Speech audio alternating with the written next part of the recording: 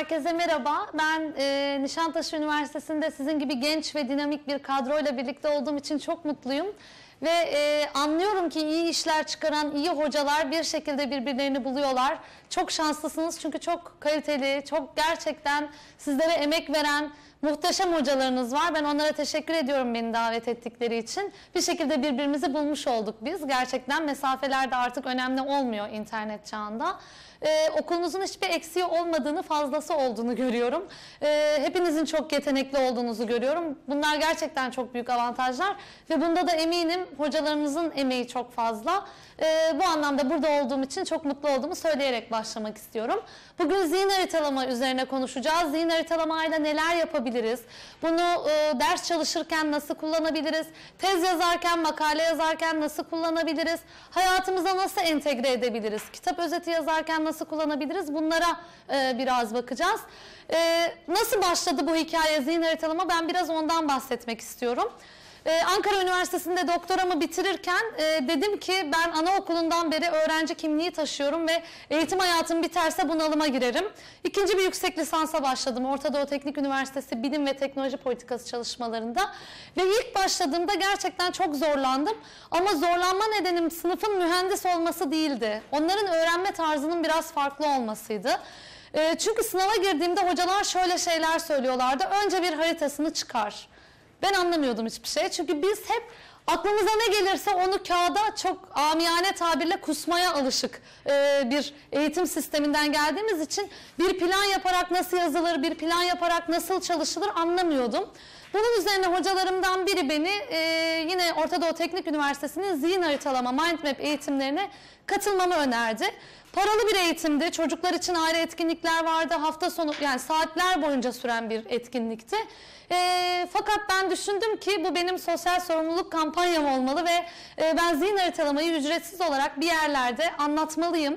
E, çünkü hayatımız boyunca biz hep ne öğrenmemiz gerektiğini öğrendik. Sınavlarda nereden başlayıp nerede biteceğini, hocam kitapta bu bölümden sorumlu muyuz demeyi öğrendik. Ama nasıl öğreneceğimizle ilgili hiçbir ders görmedik.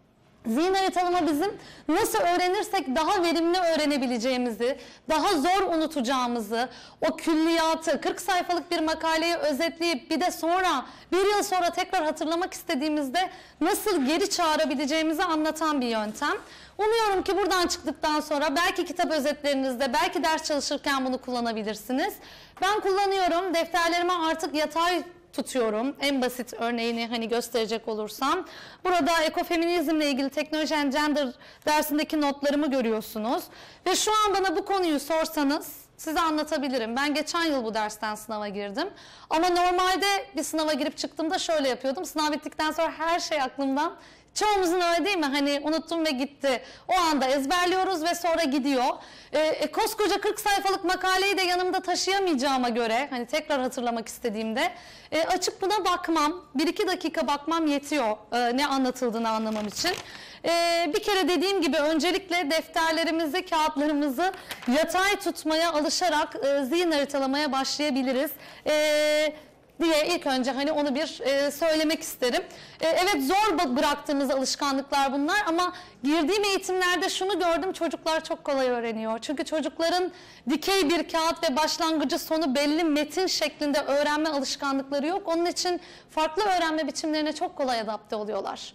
47 kere 7 49'u anlatırken bir fotoğraf yani bir resim kullanarak e, 4 yerine e, bir yelkenli, 9 yerine de benzettikleri başka bir şey koyup 7 kere 7 yelkenli ve bir şeydir. Her neyse o 9'dan ürettikleri bunu çok güzel kurabiliyorlar. E, ama biz nedense fasulyeleri ve çubukları ilkokulda bırakıyoruz. Oysa ki hayatımızın var değil mi? Hani çok mu şey oldu bu da arkaik oldu.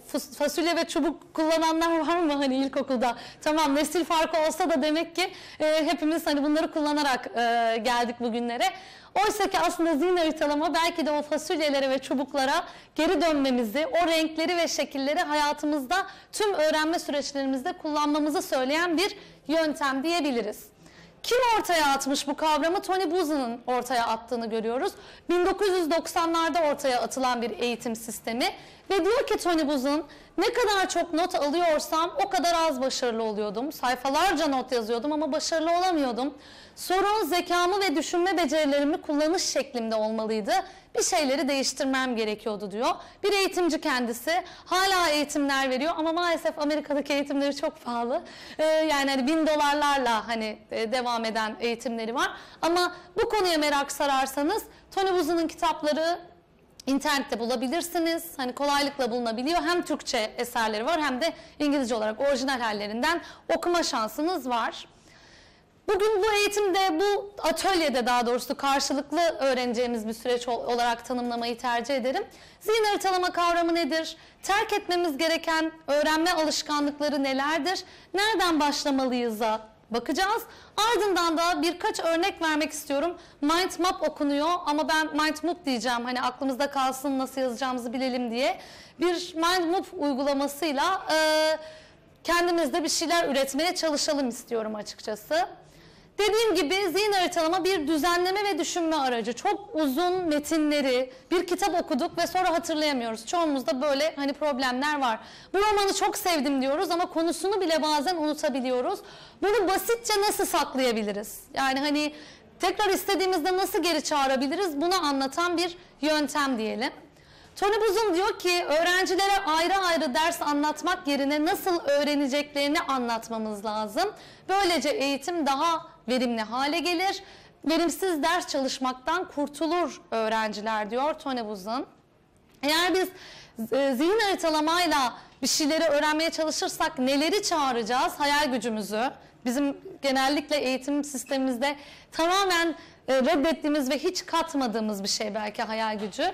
Çağrışım yeteneğini yani ben bana e, Karl Marx'ın Frankfurt okulunu anlat dediklerinde beynimde neleri çağırarak ona anlatabilirim bunu düşünmem gerekiyor.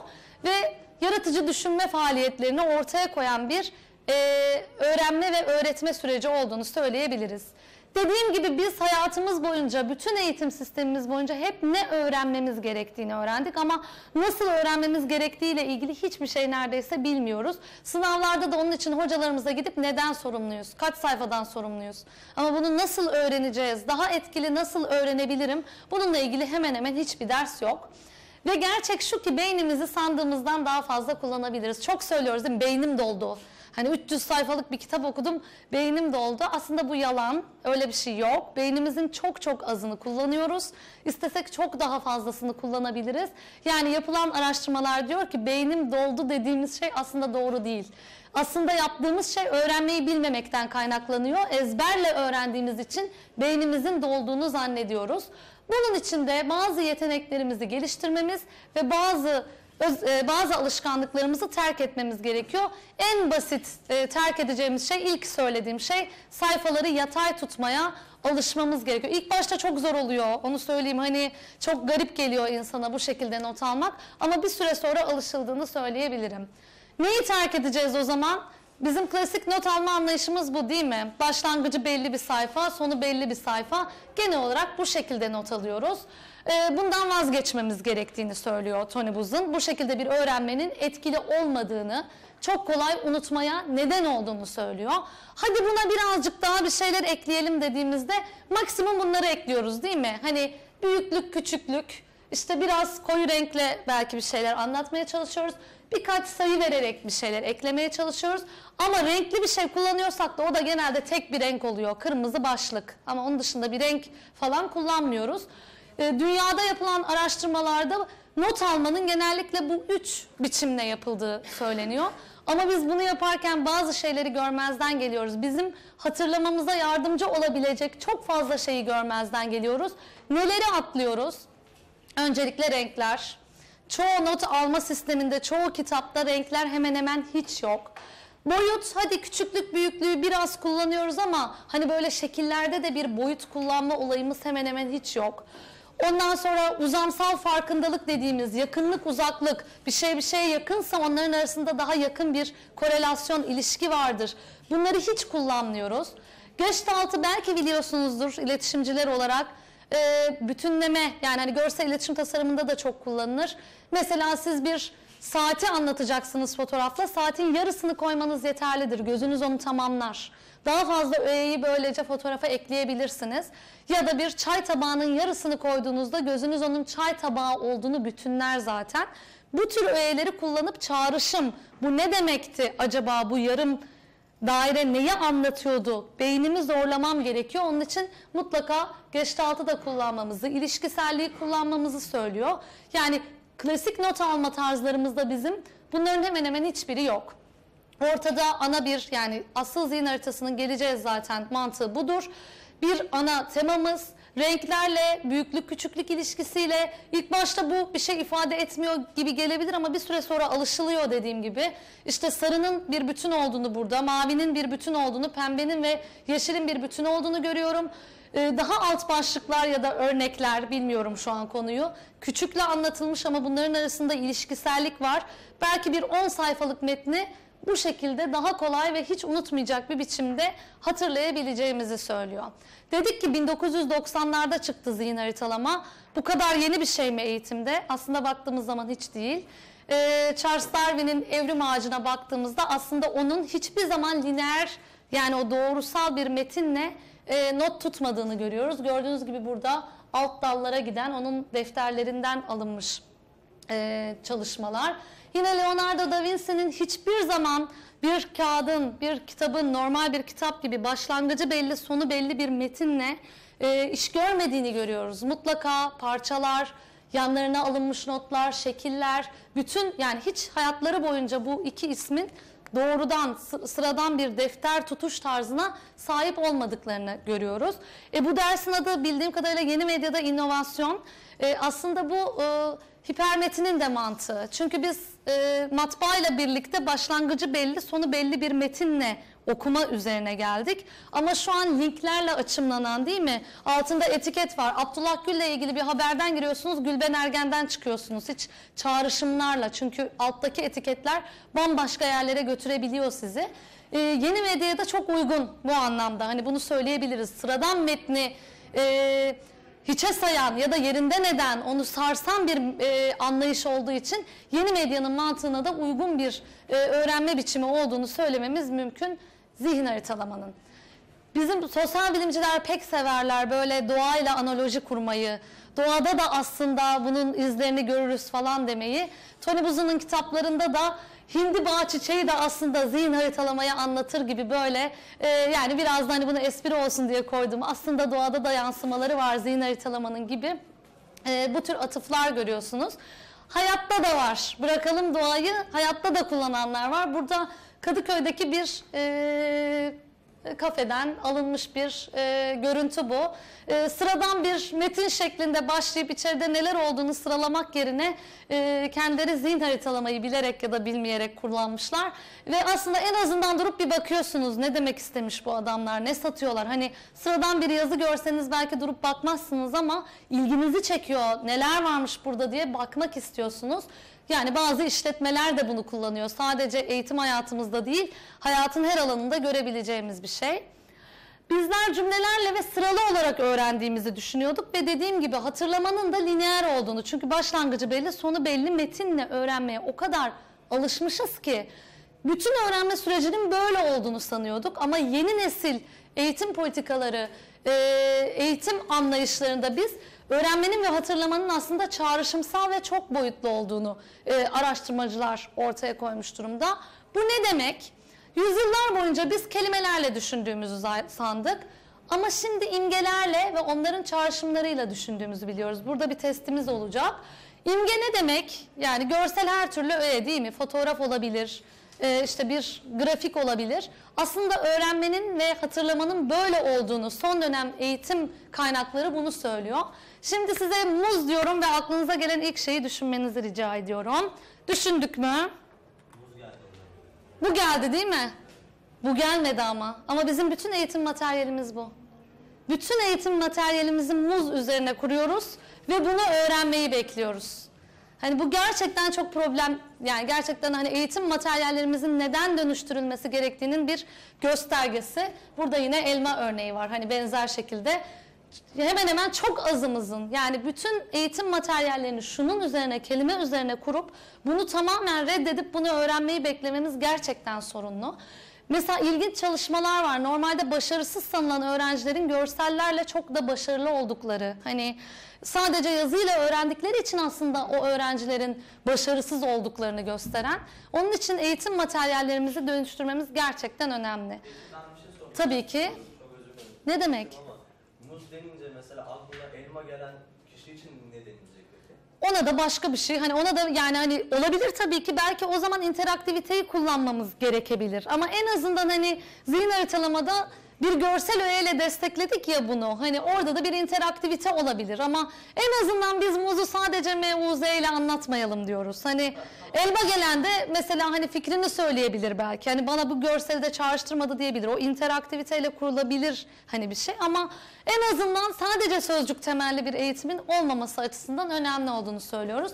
Bununla ilgili yapılmış son dönem bir çalışma var. Scientific American dergisinde bir grup e, kişiyi alıyorlar, yüze yakındı sanıyorum.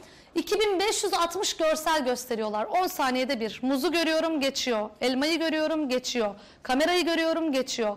Fotoğraf makinesini görüyorum, geçiyor. Kalemi görüyorum, geçiyor. 10 saniyede bir. Toplam 7 saat sürüyor bu kadar görselin gösterilmesi. 100 kişiyi oturttuk, sorduk. Sonra ne yapıyorlar? Bir saat ara veriyorlar. İnsanlar gidiyorlar, çaylarını, kahvelerini içiyorlar, geri geliyorlar.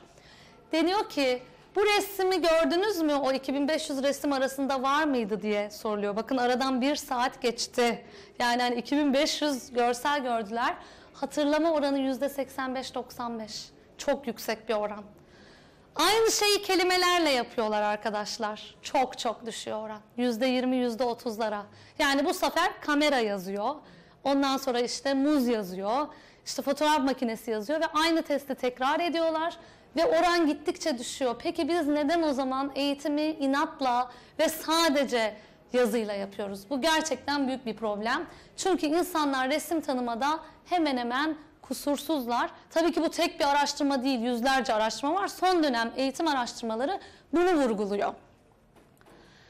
Peki biz dedik ki hani görseller önemli, renkler önemli bunları dahil edeceğiz. Nasıl başlayacağız? Artık bir nasıl yapacağımızı bir düşünelim. Etkili ve kalıcı bir öğrenme yolu dedik. Not almanın grafiksel bir yolu zihin haritalama diyoruz. Öğrenmeyi daha zevkli hale getiriyor diyoruz. Ne ile başlayacağız? Ana bir temayla başlıyorum. Alt kollara ayrılarak onların da daha altlarına giderek bir öğrenme süreci başlatıyorum. Burada eee daha sonraki slaytlarda tekrar edeceğim ama en önemli şeylerden biri renkler çok hoşumuza gidiyor ama bir şeyi kırmızı, öbürünü mavi, öbürünü mor öyle rastgele yapmıyoruz zihin haritalamada. Bazen çünkü eğitimlerin sonunda çok güzel, çok renkli şeyler çıkıyor ama amaca hizmet etmiyor. Yani buradaki mantığımız kendimiz karar vereceğiz. Benim için en önemli şey ne? Kırmızıysa kırmızı burada olacak. Alt kollar belki mavi olacak. Bir alt kol yani bunu şöyle yapamayız. Kırmızı, pembe, mavi, yeşil, karmayan çorman bir şey değil. Bir mantığı olmalı. Bir hiyerarşisi, bir stilimizin olması gerekiyor. Bu da zamanla oturuyor zaten. Yine İngilizce öğreniminde de bunun kullanıldığını görüyoruz biz. Hazırlık sınıflarına yapılan bazı çalışmalar var. Bir gruba sadece ee, mesela bir pasaj okuyorlar ve öğrendikleri kelimeleri yazıyorlar. Bunları ezberleyin gelin deniyor.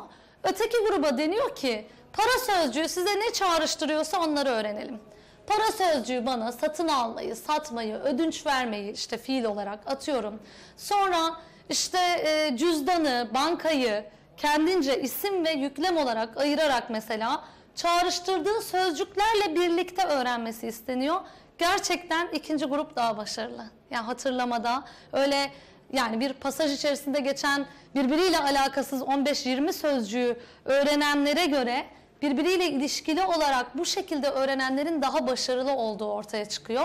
Demek ki görsel öğeler, renkler ve ilişkisellik bizim öğrenme süreçlerimiz üzerinde etkili. Demek ki biz derslerimizi de çalışırken renkleri, görsel öğeleri ve ilişkiselliği dahil etmeliyiz ki daha kolay öğrenelim ve daha kolay hatırlayabilelim.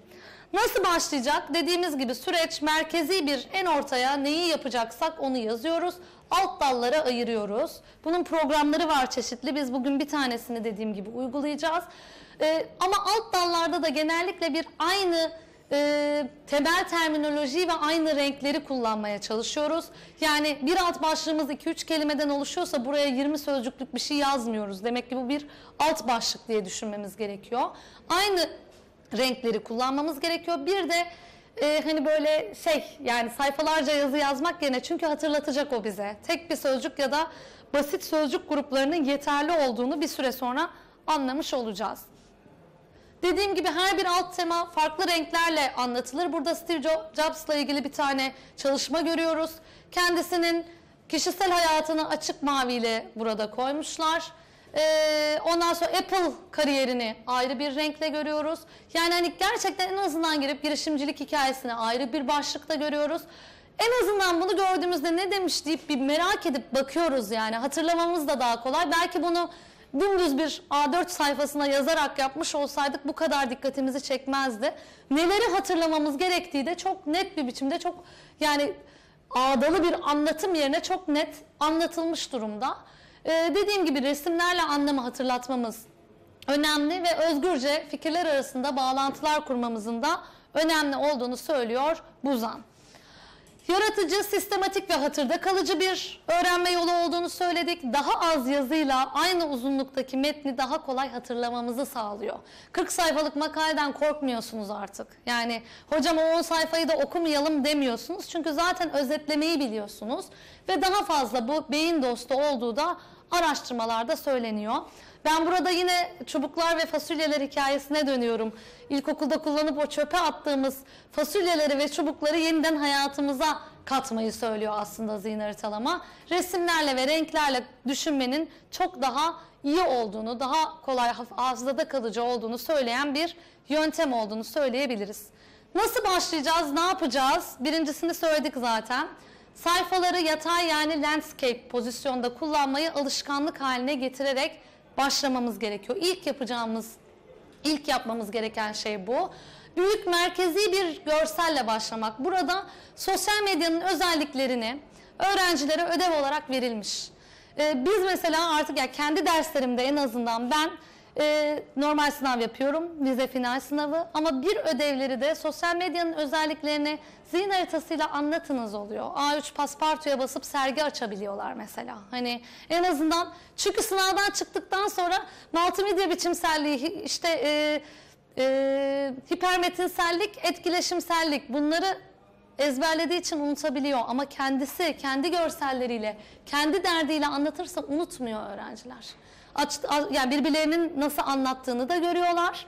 En azından tabii ki belki hani e, 50 puanlık bir işte şey notlama sisteminin yüzde ellisini bununla yapmak istemeyebilir hocalarımız ama yüzde yirmisini yüzde otuzunun böyle olması hem bir üretim meselesi haline geliyor öğrendiklerimiz bir sergi olabiliyor hem de gerçekten hem birbirlerinin nasıl anlattıklarını görüp hem de unutmamış oluyorlar. Eminim bir yıl sonra yeni medyanın temel özellikleri nedir diye gidip bambaşka bir iş yapan insana sorsanız an- hatırlamayacaktır yani onu. Ama bu şekilde anlattığında ya ben de bir ödev hazırlamıştım sergide de koymuştuk daha ha- aklında kalacaktır emin olun. Burada mesela işte yeni medyayı kendisince çağrıştıran bir şekil koymuş. Demiş ki interaktivite özelliği vardır, diyaloğa olanak tanır demiş. İçerik kullanıcı türevlidir demiş. Kendince ne hissettiriyorsa anlatmaya çalışmış. Birkaç örneğimiz daha var bununla ilgili.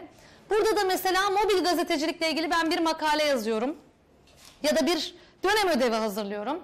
Mobil gazetecilikte neler ne- yani gazeteci yani cep telefonu gazetecilere neler kazandırdı, neler sağladı diye basit bir kağıdın üzerine okları kullanmamız yine önerilir zaten. Diyorum ki cep telefonumda video özelliği var ve hangi işte aplikasyonları kullanabilirim? Bunları kullanabilirim. Bunlar video özelliğidir ve işte gazeteciye fayda sağlar. Fotoğrafla ilgili uygulamalar vardır. Bunları kullanabilirim. Sesle ilgili vardır. Bunları kullanabilirim. Saklama işte cloud özellikleri vardır. Onunla ilgili neleri kullanabilirsem yazarım. Yer bildirimi önemli bir özellik. Bana gazeteci olarak fayda sağlayabilir. Onu yazabilirim. Sosyal medyadan yararlanabilirim. Canlı yayınla ilgili yapabilirim. Böyle bir taslak hazırlıyorum önce kendime. Çalışmama oturduğumda ilk önce nelerden yararlanabilirim diye bir taslak hazırlıyorum. Burada beyaz alan bırakmamız önemli çünkü aklımıza yeni bir şey gelebilir. Birine gösterebiliriz. Birileri bize ya hani üç gazeteciyle görüştüm. Dördüncüsü dedi ki hayır ben bir de şunu kullanıyorum. Ekleyebilmem için boş beyaz alanların olması da önemli. Hani sıkış tıkış olmaması. Yeni bir veri elde ettikçe ekleyebilmem önemli. Onun için boş alanları ve okları kullanmamız yine e, zihin haritalamada önemli görülüyor. Kendimiz için uygun hatırlatıcı elementlerden oluşan bir stil bulmamız önemli. Burada bir stil var mı? Var. Büyük başlıklar siyah, bir aşağıya doğru kırmızılarla mesela işte aplikasyonları yazdığını görüyoruz. Neler yapılabilir bu aplikasyonlarla yanına maviyle anlatıldığını görüyoruz. Bu çok sıradan basit sayfanın aslında bir stili var. Bu bir A4 sayfa olsaydı, mobil gazetecilikte, canlı yayınlarda, işte sosyal medyada, blogda vesairede kullanılır deseydi eminim onu unuturduk. Ama şu basit sayfa e, bize çok daha fazla şey anlatıyor. Bir A4 kağıdından daha fazlasını anlattığını söyleyebiliriz. Yine burada sosyal medyanın özellikleriyle ilgili başka bir hani e, ödev, proje yapıldığını görüyoruz. Ne yapmamız gerekiyor? Bol bol pratik yapmamız gerekiyor. Öğrencilere ödevler vermek, sınav sorularını böyle sormak gerekiyor. Yeni medyanın temel özelliklerini elle yaptığınız ya da işte biraz sonra göreceğimiz MindMook gibi bir programla yaptığımız bir e, bir şekilde anlatınız diyebiliriz. Çünkü öğrenme isteğini de arttırdığını biliyoruz. Burada yine öğrencilerin yaptığı çalışmalar var. Sosyal medyanın kendilerine neyi ifade ettiğini önce elle taslak olarak çiziyorlar. Ardından daha spesifik bunu bilgisayara taşımış durumdalar. O programları kullanarak yapmış durumdalar. Daha hareketli, daha güzel, daha görsel olarak daha estetik hale getirdiklerini görüyoruz. Böyle de bir sergi. Dediğim gibi A3 paspartu dediğimiz şey de sanıyorum 10 lira falan yani. Hani bir sergi açılsa çok büyük bir maliyeti de olmayan bir şey açıkçası. Yine özgeçmişlerimizi bu şekilde hazırlamamızı öneriyor Tony Buz'un. Ee, gerçekten önümüze yüzlerce yani gideceksiniz sektöre çalışmaya başlayacaksınız ve o insanların önüne yüzlerce A4 şeklinde yazılmış özgeçmiş gelecek. Sizi farklı kılacak. En azından bu insanın derdi ne ya? Bu yani ne anlatmaya çalışmış dedirtmek ve o yüzlerce CV içerisinde kendinizinkine baktırmak zorundasınız. Bunun için de zihin haritalama iyi bir örnek. Herhalde şöyle bir şey gelse bir tasarım la ilgili bir bakarsınız. Bu adam ne demek istemiş, ne uğraşmış böyle kendini anlatırken diye. Eğitimini yazmış, e, işte iş deneyimini yazmış, kişisel özelliklerini yazmış. Normal arkasına verin yine A4 formatında o iş bulma sitelerinin size önerdiği şekilde verin. Ama bir kapak gibi neden zihin haritasıyla vermeyesiniz? Eminim daha fazla dikkat çeker. Bu adam ne anlatmak istemiş diye bir dönüp bakarlar. Aslında ben burada Orkut'un e, özgeçmişini gösteriyorum örnek olarak ama burada açmayacağım çünkü onun haritasında bir sorun var. E, normalde ilerleyen günlerde bakabilirsiniz buradan. E, o da mesela gittiği okulları harita üzerinde göstermiş durumda. E, yani bu bir en azından canlılık katıyor. Siz bilmem ne okuluna gittim bilmem ne demenize göre e, bir harita üzerinde onun gösterilmesi gerçekten daha farklı bir şey ifade ediyor. Çünkü kendisi harita mühendisi. Yaptığı projeleri yine haritayla anlatıyor. E, yani bir şekilde görselleri, rengi, haritaları e, dahil etmemize, özgeçmişlerimize öneriliyor. Neden çok zorlanıyoruz? Çünkü alışkanlıklarımız farklı. Dediğim gibi benim katıldığım iki eğitim vardı. Birisi çocuklar için olan, birisi büyükler için olan. Bizim adaptemiz çok zor ama çocuklar çok kolay adapte oluyor. Defteri farklı tutmayı, belirli bir rengin daha önemli, öbürünün daha önemsiz olduğu sıralamasını yapmayı ve bunu artık not alırken kullanmayı daha kolay yapıyorlar. Tony Buz'un kitapları okulabilir. Buradakileri hani daha sonradan da izlediğinizde görebilmeniz için ben illa mind map kullanın demiyorum. Ee, Birçok e, farklı tool var, farklı araç var kullanabileceğiniz. Hatta Tony Buzun'un aslında kullandığı iMindMap onu söyleyeyim ama paralı bir uygulama. Onun için e, gerek olduğunu düşünmüyorum. Mind Map'ta da bir miktar para ödeniyor bir üst sürüme. İşte hani daha üst düzey bir ne e, kullanıcı olmanız için para ödemeniz gerekebiliyor ama bunların yani FreeMind mesela istemiyordu para hatırladığım kadarıyla. E, bunların hepsini deneyebilirsiniz. Yani illa benim gösterdiğime bakmanız gerekmiyor. Visual Understanding Environment biraz daha kod bilmenizi gerektiren, biraz daha ağır gelebilir. Ama geri kalanların hepsi iMindMap, FreeMind, Mindjet, MindMap Free ve MindMap bunları çok rahatlıkla hiçbir şey bilmeden e, yani kod bilgisi bilmeden yapabileceğiniz, kullanabileceğiniz araçlar bunlar. E, bunları denemenizi bu anlamda öneriyorum. Yine dediğim gibi kitap özetlerini zorbayı okudunuz, bitirdiniz. Bir yıl sonra o kitabın ne anlattığını hatırlayabilmek için yapın, mailinize atın dursun. İki gün sonra bir kitap özeti yine ihtiyacınız olduğunda mailinizden çağırın o kitabı ve hani açın. Makalelerinizi keza e, bir zihin haritasıyla tutabilirsiniz. Burada birkaç şeyde örnek vermek istiyorum. Benim kendi özgeçmişimle ilgili ilk denemelerimden biriydi bu galiba işte. Hani başına koyabileceğim bir şey A4 yerine eğitim bilgilerimi, logolarını vererek işte Anadolu Üniversitesi İletişim Bilimleri mezunuyum. Ankara Üniversitesi'nde master doktora yaptım. İkinci master'ım ODTÜ'de devam ediyor. İş deneyimim Gazi Üniversitesi'ndeyim. Daha önce Aral Üniversitesi'nde çalıştım. Genelkurmay Başkanlığı'nda çalıştım. Akademik ilgi alanlarım, bana nasıl ulaşabilirsiniz gibi basit bir ilk önce yine dediğim gibi yani CV'min başına eklediğim bir e, zihin haritam var benim. Burada bizim bir çalışmamız var. O da arkadaşım Bahar Ayaz'la birlikte araştırma görevlisi yaptığımız. E, Twitter'daki Türk e, IŞİD destekçileri üzerine yaptığımız bir çalışmaydı. Bu ilk hali çalışmanın geliştirdik. Devam eden halini açıyorum şimdi size. Biraz daha gelişmiş hali. İnanın bu şekilde yani sayfalarca slaytla anlatacağımıza biz gidip makalemizi bu şekilde sunabiliyorduk. Çünkü işte bir her makalenin bir başlangıcı ve sonucu vardır. Başlangıcı ve sonucu var makalemizin. Ee, bir bölümünde sosyal yani e, sosyal medya kullanan e, terör örgütlerine değindiğimiz bir bölüm var. Daha sonra da kendi metodolojimiz ne yaptığımızı anlatıyoruz makalemizde. Diyoruz ki işte mesaj tiplerine baktık. E, mesajın kaynağına, tweetin kaynağına baktık. Uygunsuz bir içerik olup olmadığına baktık. Tekrar eden e, kimlik türlerini analiz ettik.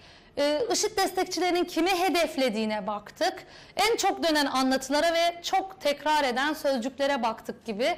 Bütün çalışmamızı 50 slaytla anlatacağımızda tek bir haritayla aslında çok rahat anlatabiliyoruz ve bu makalemizin başına da şekil 1A hani deriz ya hani hep e, biz artık bütün akademik makalelerimizin başına e, mutlaka çalışmamızın bir mind map'ini koyuyoruz. Daha kolay anlaşılır olduğu düşüncesiyle e, koyuyoruz. Yine burada da bir makale vardı. Yine böyle 30-40 sayfalık. Bilim işte bu feminist teoriden gelen bilim aslında erkek egemen bir bilim midir? Modern bilim öyle midir konulu bir bilim şey e, makaleydi bu. Şu an makaleyi 3 yıl falan oldu yani hani hatırlamam mümkün değil normalde. Hani 3 yılda kafamdan atmam gerekir ama ben baktığım zaman çok rahat hatırlıyorum konularını. Evet hatırlıyorum ki Bacon'ın e, Mother Nature yani e, doğa ana söyleminin bile aslında cinsiyetçi olduğu vurgusu vardı bu makalede. Bunu hatırlıyorum. Bazı keywordlerin kullanıldığını hatırlıyorum. E, ve feminist çalışmaların 5'e 6'ya bölünerek işte eşitlik çalışmaları var. E, bedenin e, bedenin kötüye kullanılması ile ilgili olanlar var. E, rigid ikilikler üzerine kadın erkek ikiliklerini analiz eden çalışmalar var gibi bir kategorizasyonla bütün makalenin 40 sayfalık makalenin ne anlattığını hatırlayabiliyorum. E, küçük notlar da alarak. Geldik iletişim bilimleriyle ilgili. İletişim araştırmalarında eleştirel yaklaşımlar. Bu arada kaçıncı sınıf bu e, kitle? Dördüncü sınıf. Eminim gördünüz hepiniz yani bunları. Herhalde görmeden mezun olunmuyor.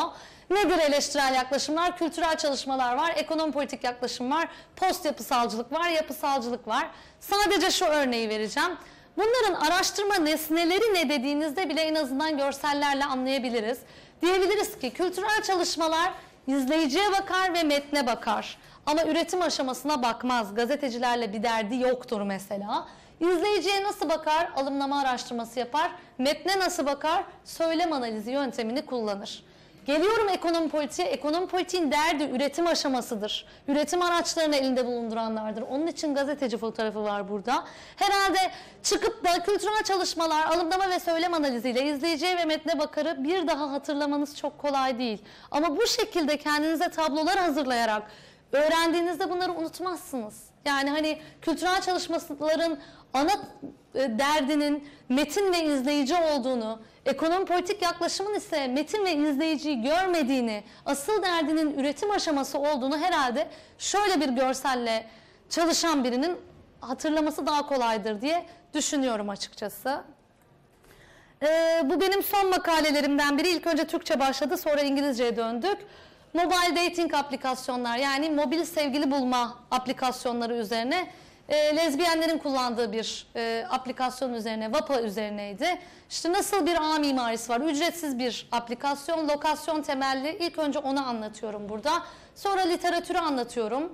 Ardından da metodolojimden bahsederek hani çalışmamın nasıl olduğunu anlatıyorum. Sonra çalışma değişti çünkü hani interview yapmaya hani gidip onlarla görüşmeye başladım. Değişti araştırmanın yöntemi de etnografiye ve queer teoriye döndü. Gördüğünüz gibi aslında hani basitle başlayıp biraz daha zorlaşan, değişen bir e, hani üzerinde çalıştıkça daha güzel, daha anlamlı şeyler çıkarabiliyoruz. Hani bunu söylememiz mümkün. Görme biçimleri yakında da kaybettik. Ee, biliyorsunuz çok değerli biridir. John Berger'in herhalde iletişim fakültelerinin yine temel kitaplarından biri. Bir ödev olarak görme biçimlerini yine mind map'le sadece e, bir program kullanmadan elle anlatmaları istenmiş çocuklardan. Bu da yapılan çalışmalardan bir tanesi. İşte mekanik reprodüksiyonu şöyle tanımlarsınız sınava girdiğinizde. Mekanik reprodüksiyon çağında sanatın özü, aurası ölür. Sınavda bunu yazdınız. Çünkü var. John Berger'de söylenen bir şey bu. Ama reprodüksiyon neydi onu bile hatırlamayabilirsiniz çıktığınızda. Oysa ki siz reprodüksiyonu aynı sanat eserinin 5-6 tane çoğaltılması olduğunu burada resimle anlatırsanız bunu unutma olasılığınız çok zor. Tekrar dönüp baktığınızda bunu hatırlayacaksınızdır. Yine baktığınız zaman bu şekilde yaptığımızda sanatın özü ölebilir. Hiçbir şey anlatmayabilir. Ben Osman Hamdi Bey'in tablosunu sadece koltuklarıma uyuyor bordo diye koyabilirim. Halbuki adam orada bir dert için bunu anlatmıştır. Ben bordo aman koltuklarımla aynı renkte koyayım da bu tabloyu asayım gibi bir derdi yoktur. Sanatın özü onun için çoğaltıldıkça yok olur gibi bir anlamı şu şekilde öğrenmek herhalde çok daha kolaydır. Yoksa sınavda şunu yazıp yüzde alabilirsiniz. İşte mekanik reprodüksiyon çağında sanatın özü aurası ölür. Ama bir yıl sonra hiçbir şey hatırlamayabilirsiniz. Onun için bütün kitaplarımızı, e, ders not tutma alışkanlıklarımızı evet kolay değil, zor ama bizim için değerli ve anlamlı olduğunu düşündüklerimizi en azından bu şekilde yapmamızda fayda olduğunu görüyoruz. Yine mesela işte en sıkıcı derslerden biri bilimsel araştırma yöntemleri değil mi? Hani böyle geçerken de sıkıntı yaratır falan böyle. İşte örneklem çeşitleri. Olasılıklı örneklem şudur, olasılıklı olmayan örneklem budur. Sonra çıkınca hiçbir şey akılda kalmıyor. Halbuki mesela olasılıklı örneklemde evrenin tam listesi var. Yani şapkamın içinde her şey var. Bütün evren elimde. Ben onun içinden seçiyorum. Olasılıklı olmayan evre- örneklemde kulak çöplerinin hepsini göremiyorum. Acaba nereye kadar kulak çöpü var da bu kadarını içine sığdırdım? Tüm evren yok. Tüm evreni göremediğim bir yerden çekiyorum.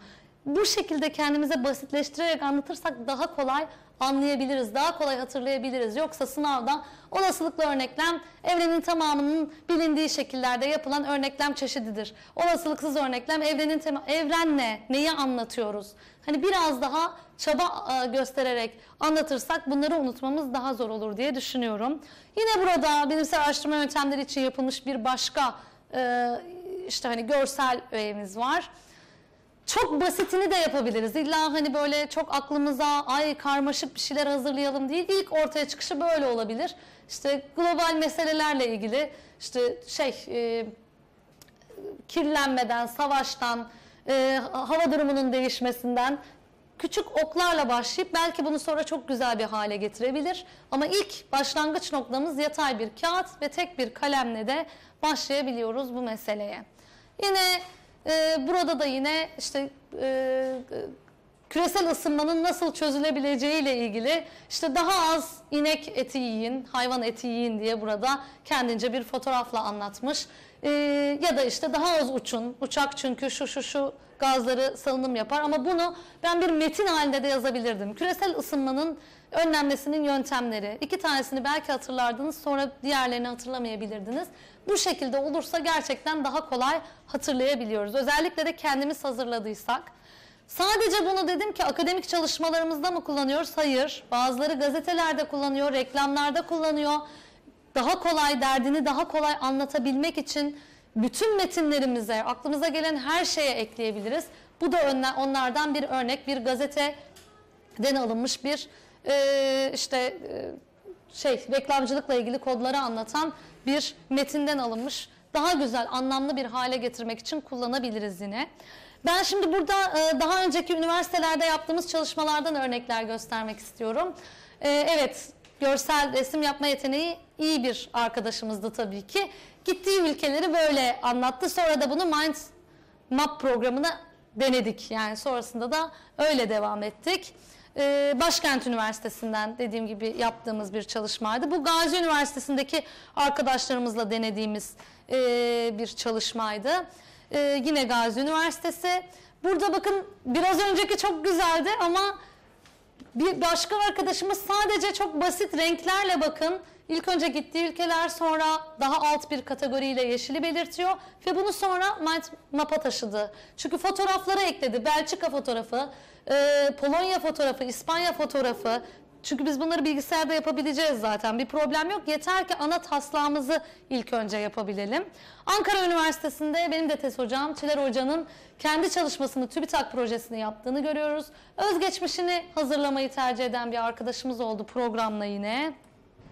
İşte burada dediğim gibi Türkiye'de bilim iletişimi ile ilgili yaptığı akademik araştırmayı ilk önce elle bir denedi. Hani nasıl yapabiliriz diye sonra da bilgisayara aktardı. Hacettepe Üniversitesi'ndeki e, zihin haritalama etkinliğinden yine özgeçmiş deneyenler var. Yaptıkları TÜBİTAK projelerini deneyenler var. Okudukları kitapları yapmayı deneyenler var. E, ne yapmamız gerekir? Ben hani son iki slaytla bunları söyleyip galiba bir ara vereceğiz. Sonra da Mind Map programını açıp e, ama ilk önce bir 15 dakika ben elle o renkli kalemlerle yapmanızı rica edeceğim ikinci yarıda. Ardından da onları programda nasıl yapabiliyoruz'a bakacağız. Amaca ulaşmak için hangi bilgilere ihtiyacım var? Eğer bir kitap söz konusuysa ana başlıklar neler olabilir?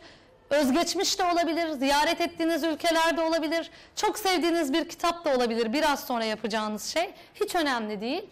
Ee, basit sorum ne olabilir diyorlar. Soruları çoğaltabilirsiniz. Neden ne, nerede, kim, nasıl, ne zaman, hangisi size hatırlatıcı olabilecek şeyler olduğu için. Tüm bunları kapsayan ana merkez kategorim nedir? Bunu da düşünmemiz gerekiyor. Birazdan ilk önce elle taslak programlar yapacağız. Yani taslağımızı çizeceğiz. Sonra da bunu Mind Map programında birlikte yapmayı deneyeceğiz. Dinlediğiniz için teşekkür ediyorum ilk yarımızda. Sağ olun. Teşekkür ederim.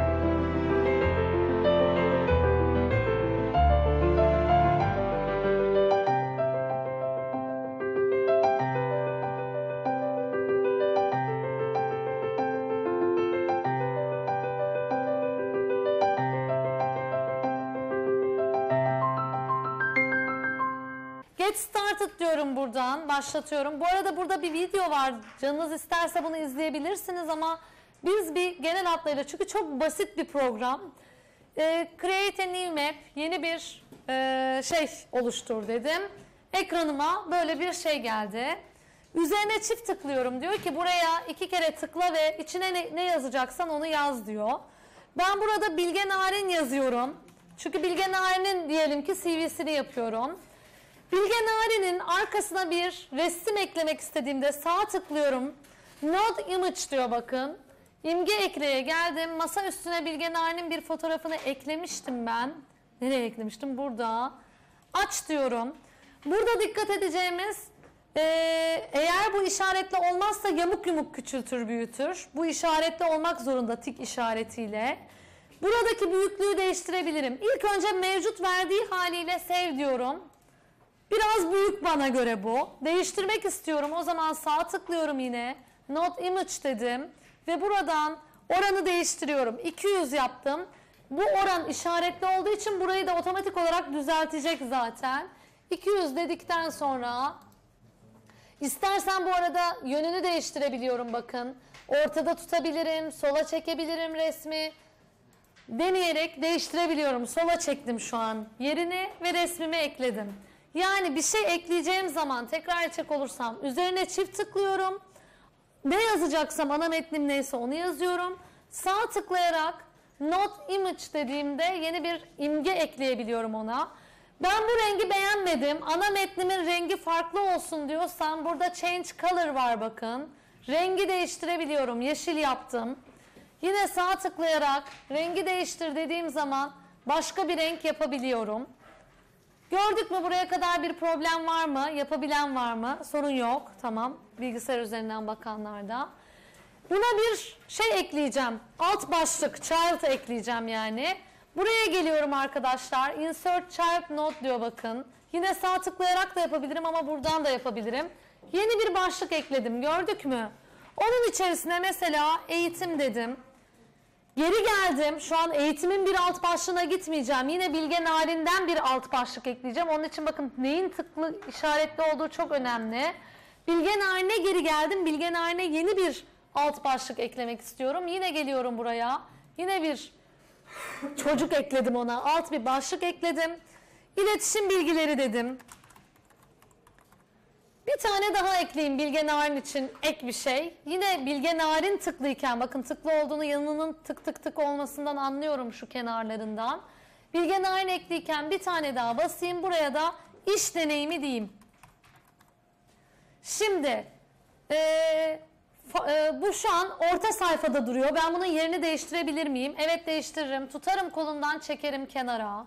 İstersen bunların yönünü bakın tutup çekiyorum istediğim kadar uzağa. Yönlerini de değiştirebilirim. İletişim bilgilerini de bu tarafa alabilirim. Hepsini bu tarafa da koyabilirim. Rahatlıkla çekebiliyorum. Dener misiniz bunu da açık olanlar lütfen? Dediğim gibi bunu da istediğim yere çekebilirim. Büyütüp küçültebilirim. Aynı yöne çekebilirim şöyle tutarak. Eğitimin altına yeni okullar ekleyeceğim. Yine ne yapacağım? Yine insert child diyeceğim. Bu sefer eğitim işaretliyken bakın. Bilge Narin'den yaparsam bir anlamı yok. Eğitim işaretliyken yine bir çocuk ekle dedim buna. Ee, Ankara Üniversitesi diyorum. Yine eğitime geri geliyorum. Yine çocuk ekle diyorum. Hacettepe dedim. Şu an tamamen hani atmasyon bir şey yapıyoruz ama bu sefer bakın bu ikinci başlıklarımızdı ya bizim stilimiz olacak demiştik. Üçüncülerin rengi değişik olsun. Bir alt kategori olduğu için. Yine sağ tıklıyorum Ankara Üniversitesi'ne. Yeni bir renk atamam gerekiyor ona. Mor yaptım, mavi yaptım her neyse. Çünkü bu benim bir alt kategorim gördüğünüz gibi. Üniversitenin logosunu eklemek istersem ne yapacağım? Sağ tıklayacağım, not image diyeceğim. Her birine tıklayarak renklerin de yani renklerini de e, arka planlarına resim eklemeyi de yapma şansım var. Peki ben yeni bir tane başka bir e, ikinci bir başlık açmak istiyorum. O zaman yapacağım şey arkadaşlar şuna tıklamak. Pardon bu değil özür diliyorum. Şuna tıklamak. Bağlantısız bakın yeni bir tane daha açtı. Onu doldurdum. Burada diyelim bambaşka bir şey çalıştım.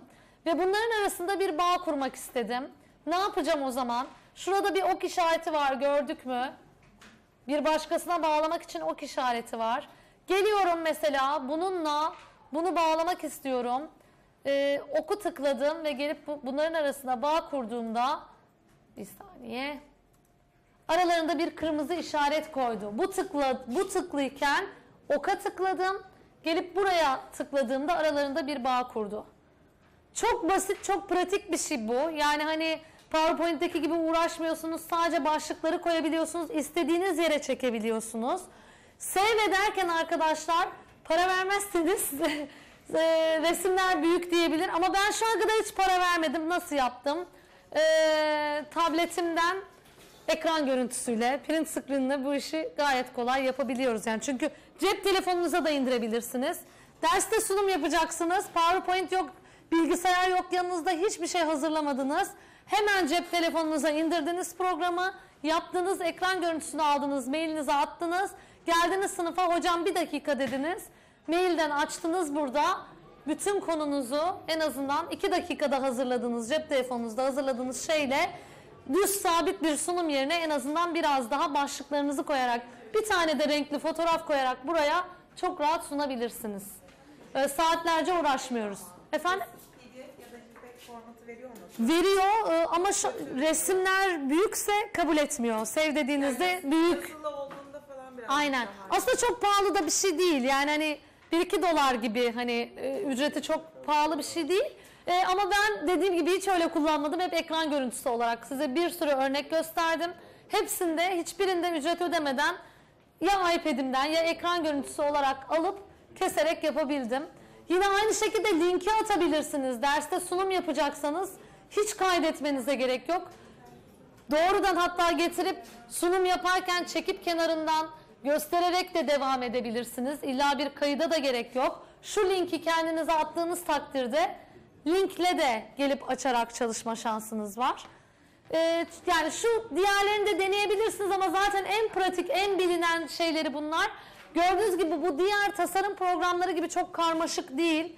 Happy Top'u 5-6 tane, 7 tane öğesi olan bir şey. Bu da zaten zihin haritasının basitliğinden dolayı, kendi iddiasından dolayı böyle.